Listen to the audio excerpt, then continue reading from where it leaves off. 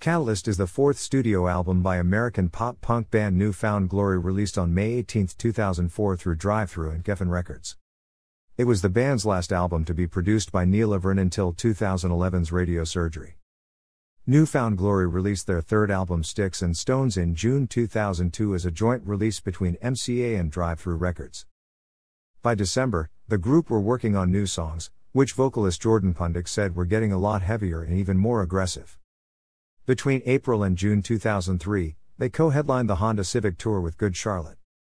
They had a practice room backstage that allowed them to work on new material.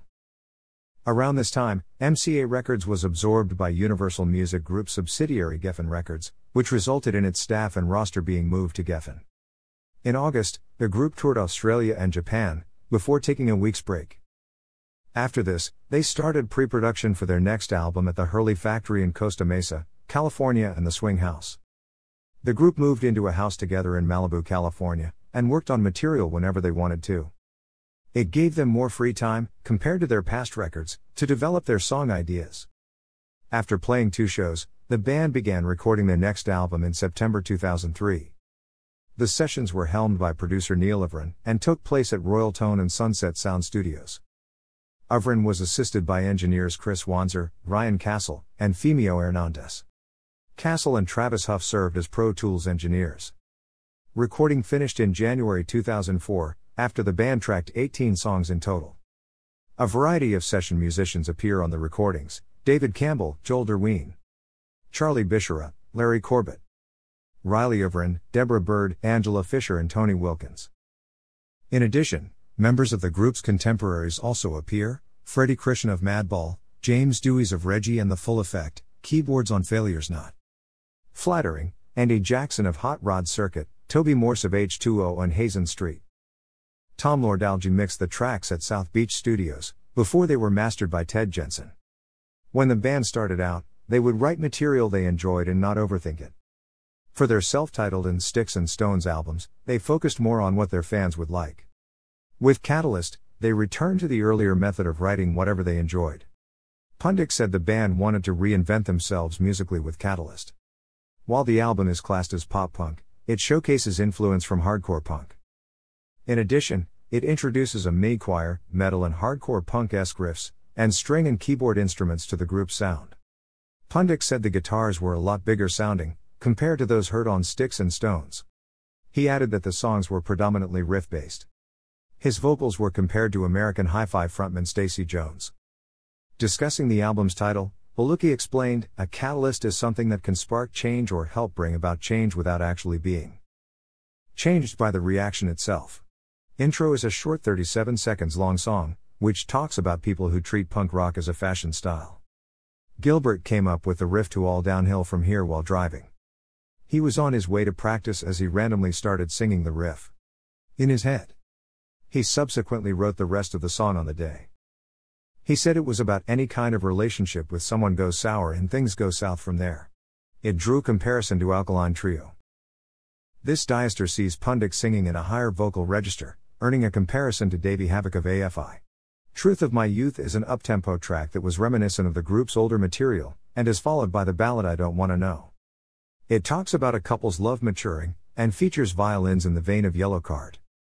Your biggest mistake showed the band's strength in writing pop punk material. Gilbert wrote a lead part over the chorus in Failures Not Flattering, which Pundik jokingly said sounded like it was from Beverly Hills, 90210. Gilbert brought Dewees in to add a keyboard in the intro and chorus, earning it a comparison to the Get Up Kids.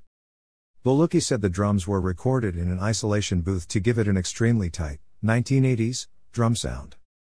The song went under the working title Belinda Carlisle due to its 1980s sound. According to Gilbert, the track is about making mistakes, and also serves as a wake up call for a person to change.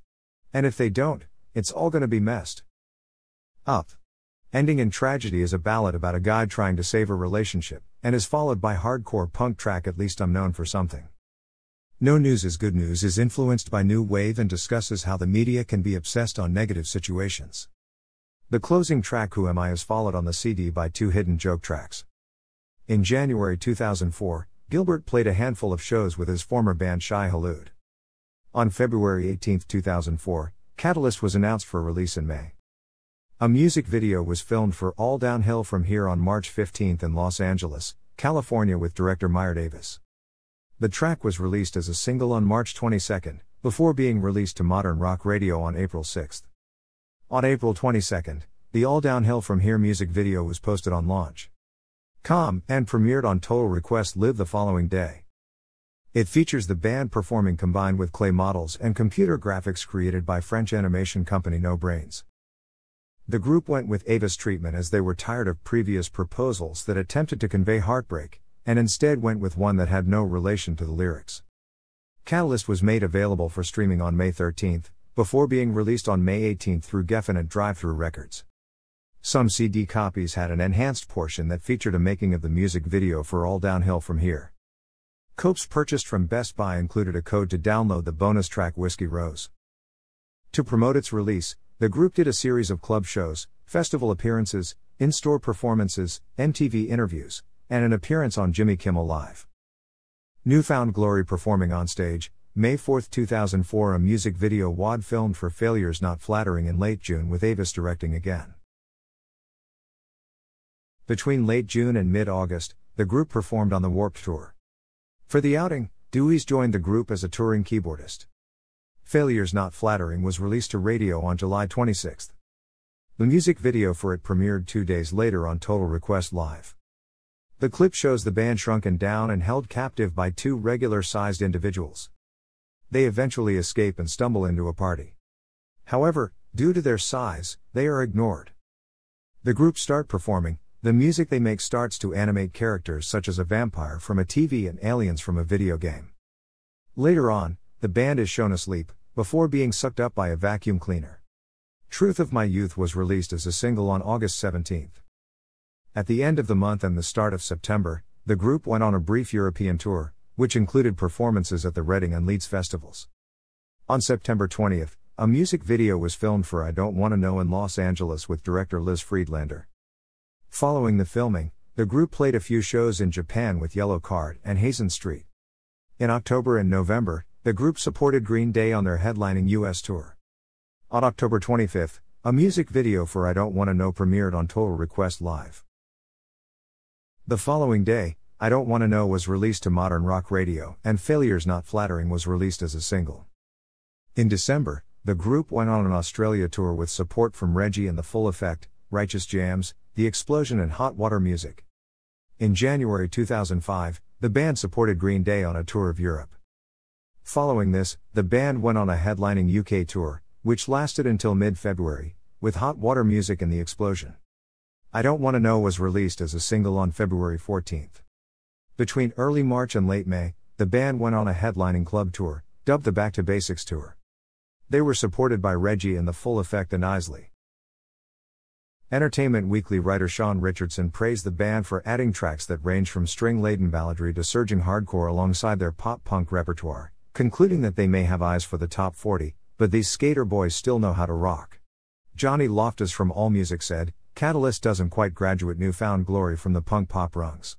From its main aesthetic thrust to the pristine mixing and production, this is a slick and durable Drive-Thru missive. Micro tweaked for maximum warp tour ROI. Still, the guys in NFG have been at this a while, so a little exploration is not only understandable, it's expected.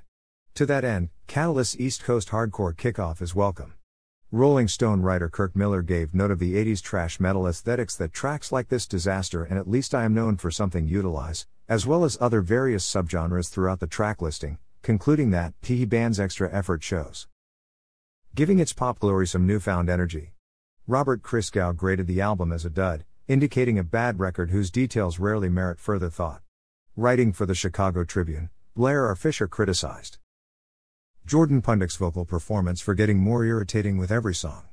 The album debuted at a career high number 3 on the Billboard 200 chart, after selling 146,000 copies in its first week. It was later certified gold by the Recording Industry Association of America in August 2004. As of June 2005, the album has sold over 600,000 copies. The All Downhill From Here music video was nominated for Best Breakthrough Video at the 2004 MTV Video Music Awards.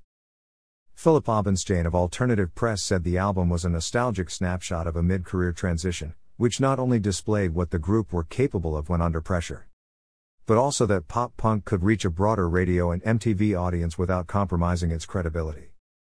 In 2016, Gilbert ranked Catalyst as his second to least favorite New Found Glory album. Looking back, he said it doesn't really make any sense, Catalyst is all over the place, musically. The group performed the album in its entirety on a tour in 2017 to celebrate the 20th anniversary since they formed. All songs written by New Found Glory. Personnel per booklet. Thanks for watching.